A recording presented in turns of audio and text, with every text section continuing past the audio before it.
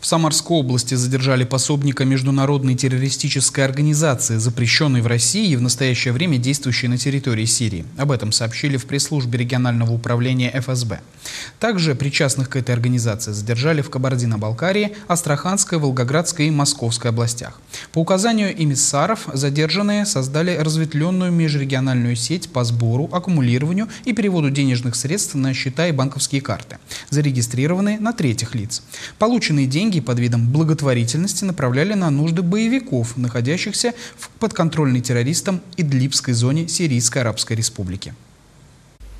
По местам проживания задержанных обнаружены и изъяты средства коммуникаций, платежные инструменты, а также иные документальные материалы, подтверждающие их противоправную деятельность. Следственными органами в отношении указанных лиц возбуждены и расследуются уголовные дела за содействие террористической деятельности, оперативно-розыскные мероприятия и следственные действия продолжаются.